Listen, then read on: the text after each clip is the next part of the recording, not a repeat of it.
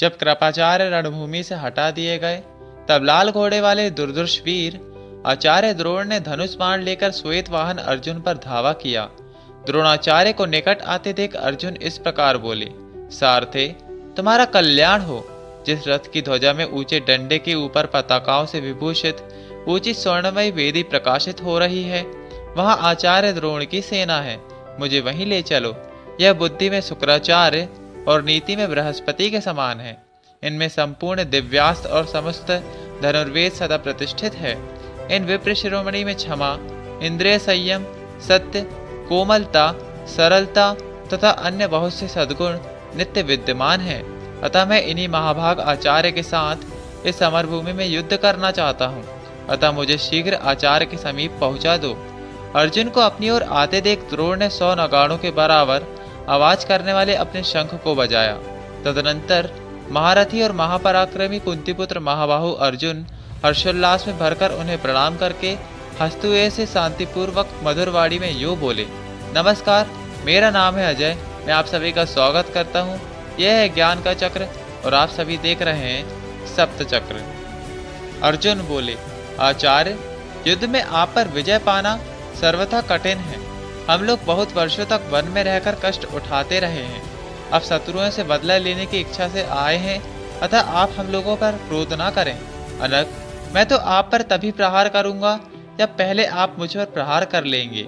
मेरा यही निश्चय है, अतः आप ही पहले मुझ पर प्रहार करें। तब द्रोण ने अर्जुन पर 21 बाण चलाए, किंतु पार्थ ने उन्हें निकट आने से पहले ही काट गिराया। तदनंतर द्रोण ने अस्त्र चलाने की फूर्ति दिखाते हुए अर्जुन के रथ पर सहस्त्रों बाणों की वृष्टि की। जान पड़ता था, आचार्य यह सब करके अर्जुन के क्रोध को उभारना चाहते थे। इस प्रकार भारद्वाज नंदन, द्रोण और क्रीडधारी अर्जुन में युद्ध छिड़ गया। दोनों ही विख्यात पराक्रमी थे। वेग में दोनों ही वायु के समान थे। वे दोनों गुरु शिष्य, दिव्यास्त्रों के महापंडित और उत्तम तेज से संपन्न थे। परस्पर बाणों की झड़ी लगाते हुए दोनों ने सब राजाओं को मोह में डाल दिया। तदनंतर सैनिक दोनों वीरों की साधु साधु कहकर सराहना करने लगे। भला युद्ध में अर्जुन के सिवा दूसरा कौन द्रोणाचार्य का सामना कर सकता है? यह क्षत्रिय धर्म कितना भयंकर है कि शिष्य को गुरु से युद्ध करना पड़ रहा है? तब द्रोणाचार्य ने अर्जुन के रथ पर बाणों का जाल सा बिछा दिया और उन तेजस्वी बाणों द्वारा उन्होंने सूर्य की प्रभा को भी आच्छादित कर दिया। जैसे मेघ एक पर्वत पर जल की वर्षा करता है उसी प्रकार द्रोण अर्जुन को तीखे बाणों द्वारा बींद रहे थे। उसी प्रकार अर्जुन भी अपने उत्त एवं दिव्य गांडिव धनुष द्वारा विचित्र बाणों की वर्षा कर रहे थे। उन्होंने सब दिशाओं में एक ही साथ अस्त्रों की वर्षा दिखाई और आकाश को चारों ओर से बाणों द्वारा ढककर एकमात्र अंधकार में निमग्न सा कर दिया। तब द्रोणाचार्य ने अपनी धनुष की टंकार फैलाते हुए उसे कानों तक खींचा और अर्जुन के बाणों को काट डाला। उस समय जलते हुए बांसों के चटकने सा भयंकर शब्द हो रहा था। इस प्रकार वे दोनों वीर शिरोण विभूषित महाबाणों की वर्षा करते हुए आकाश को मानो उल्काओं से आच्छादित करने लगे। महामाना द्रोण और पांडुनंदन अर्जुन का वह रोषपूर्ण युद्ध, वृत्तासुर और इंद्र के समान भयंकर प्रतीत होता था। वे उस संग्राम में पृथक पृथक दिव्यास्त्र प्रकट करते हुए धर्मयुद्ध कर रहे थे। उस तुमल युद्ध में अर्जुन दिव्यास्त्रों की वर्षा कर रहे थे। किंतु आचार्य अपने अस्त्रों द्वारा उनके अस्त्रों का निवारण मात्र करके उन्हें लड़ा रहे थे।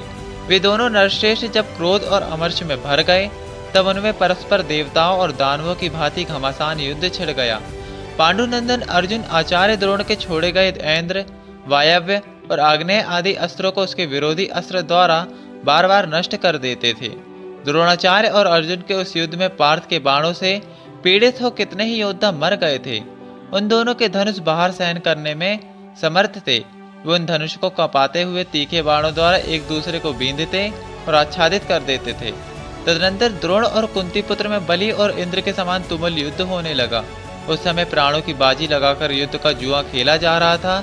वे दोनों वीर अपने बाणों से एक दूसरे को विदीर्ण कर रहे थे। तदनंतर रणभूमि में कुंती पुत्र ने दिव्य गांडी धनुष को ऊँचे उठाकर कुपित हो उसे दोनों हाथों से खींचना आरंभ किया। वे तो टिड्डियों के झुंड के समान उनकी अद्भुत बाण वर्षा देखकर वे सभी सैनिक आश्चर्यचकित हो साधु साधु कहते हुए उनकी प्रशंसा करने लगे। उनके बाणों के भीतर वायु भी प्रवेश नहीं कर पाती थी। कोई भी इनकी क्रियाओं में क्षण भर का भी अंतर नहीं देख पाता था। तत्पश्चात एक ही साथ झुकी हुई गांठ वाले एक लाख बाण द्रोणाचार्य के रथ के समीप आ गिरे। द्रोणाचार्य पर इस प्रकार बाण वर्षा होने पर कौरव सैनिकों में भारी हाहाकार मच गया। अर्जुन के इस पराक्रम की इंद्र ने बड़ी प्रशंसा की, और उनके साथ जो वहाँ गंधर्व और अप्सराएँ आई थी, उन्होंने भी उनकी बड़ी सराहना की। तदनंतर रथियों के यूथपति आचार्य पुत्र अश्वत्थामा ने रथरोहियों के विशाल समूह के साथ सहसा वहाँ पहुंचकर पांडुनंदन को चारों ओर से घेर लिया। अश्वत्थामा ने महात्मा अर्जुन के उस पराक्रम की मन ही मन भूरी भूरी प्रशंसा की, और उन पर अपना महान क्रोध प्रकट किया। तब महाबाहु अर्जुन ने जिधर अश्वत्थामा था उसी और घोड़ों को घुमाकर आचार्य द्रोण को भाग जाने का अवसर दे दिया। अर्जुन के उत्तम बाणों से द्रोण के कवच और ध्वज छिन्न भिन्न हो चुके थे। वे स्वयं भी बहुत घायल हो गए थे। अतः मौका पाते ही वेगशाली घोड़ों को बढ़ाकर तुरंत वहाँ से भाग निकले। द्रोण पुत्र अश्वत्थामा और अर्जुन में देवताओं और असुरों के समान भारी संघर्ष होने लगा। उनके बाणों के जाल से आच्छादित होकर आकाश सब ओर से अंधकारमय हो रहा था। उस समय न तो सूर्य प्रकाशित हो रहे थे और न वायु ही चल पाती थी। अर्जुन ने अश्वत्थामा के घोड़ों को घायल करके अल्पजीवी बना दिया। तदनंतर महापराक्रमी अश्वत्थामा ने रणभूमि में विचरते हुए अर्जुन का छोटा सा छिद्र, तनिक से असावधानी देखकर छुर नामक बाण से उनकी प्रत्यंचा काट डाली। उसके इस अतिमानुष कर्म को देखकर सब देवता उसकी बड़ी प्रशंसा करने लगे।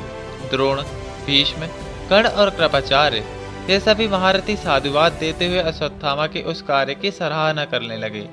तदनंतर अश्वत्थामा ने पार्थ की छाती में पुनः भारी आघात पहुँचाया। उस समय महाबाहु पार्थ ठहाका मारकर हंसने लगे।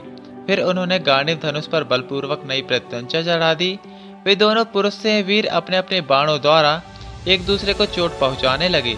महात्मा पांडुनंदन के पास दो दिव्य अक्षय दुख। से कुंती पुत्र शूरवीर अर्जुन रणभूमि में पर्वत की भांति अविचल खड़े रहे परंतु संग्राम में शीघ्रता पूर्वक बार बार सरसंधान करने वाले अश्वत्थामा के बाण जल्दी समाप्त हो गए।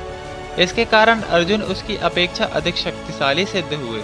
मैं आपको बता दूँ, यह कथा महाभारत के विराट पर्व अध्याय अंठावन से लेकर अध्याय उनसठ में से ली गई है। अधिक जानकारी हेतु आप महाभारत अवश्य पढ़ सकते हैं। आपके साथ ईश्वर का सानिध्य बना रहे। नमस्कार।